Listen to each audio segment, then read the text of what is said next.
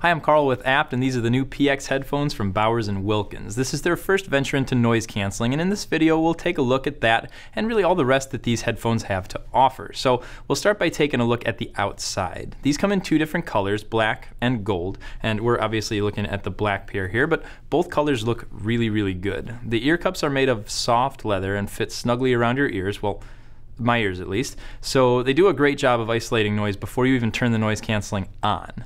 The underside of the headband is the same and is also soft and comfortable. On the outside of the ear cups and headband, you have kind of a rubbery textured material that feels soft and looks really great. The stems going from the ear cups to the headband are metal and have a concave design that houses the wires so they aren't sticking out. The movement to adjust these is easy too, so it doesn't take any time to get them to fit properly. To be honest, the first couple times wearing these, I kind of felt like the ear cups weren't that comfortable, but after I was able to break them in a little bit, I definitely changed my opinion on that front.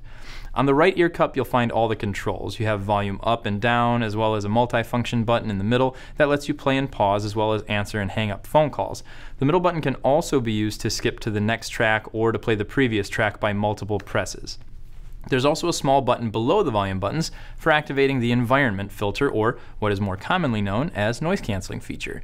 And the last button below all these is the power slash Bluetooth button.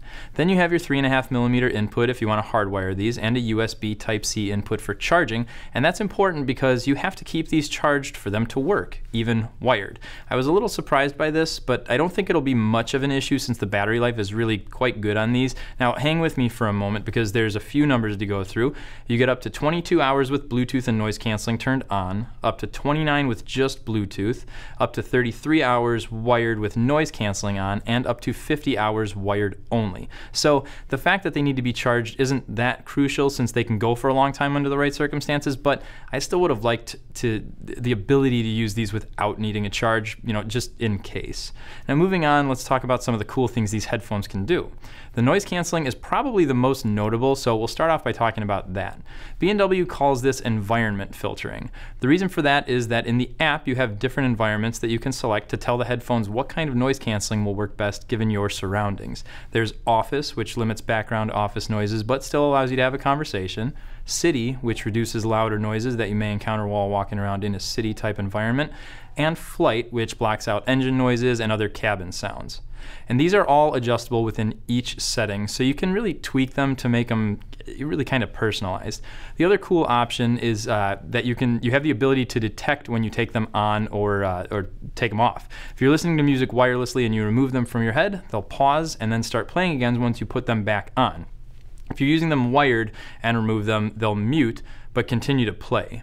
You can adjust the sensitivity on these features too to turn them off entirely if you want to. So if it's not for you, then you're not stuck with that option.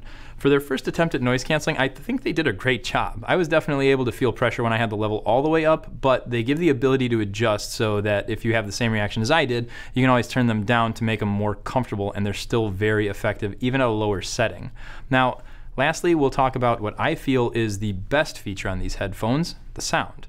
I've always been impressed with Bowers & Wilkins headphones, and I'm happy to say these absolutely continued that trend. Admittedly, I'm not an audiophile, but within the first four notes of the first song I listened to on these, I was able to hear how natural everything sounded. I found them to be extremely accurate throughout the entire range of sound I was hearing.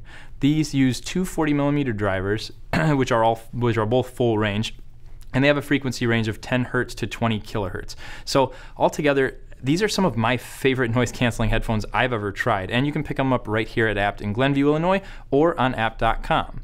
Have any of you had a chance to try these out yet? Make sure to let us know in the comments section. As always, we appreciate you checking out our video, and remember to subscribe to our YouTube channel to see videos on all the great products we carry here at Abt.